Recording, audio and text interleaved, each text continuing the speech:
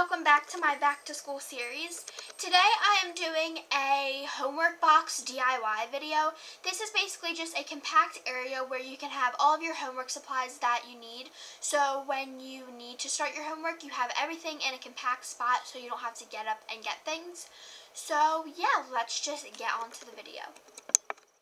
So the first things you need for this are the organization organiz organizational, sorry, things you're going to need. So I'm just taking a box, a file organizer, and this little bin.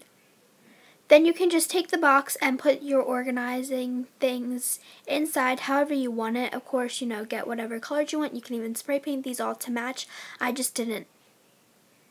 Then you can take whatever school supplies you need. I'm taking pencils, colored pens, regular pens, and a Sharpie. Also scissors. And I'm just doing these all in this little black bin. Now I'm taking this roller and there's great ones that are flexible that can just bend and fit in a tight spot. So that's where I'm putting that one.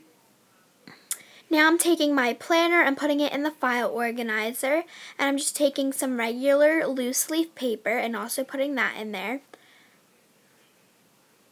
I'm also taking my thesaurus and dictionary and putting that in the smaller section. These are kind of beat up, but you get the idea. And of course, these will change with grade, your supplies that you need.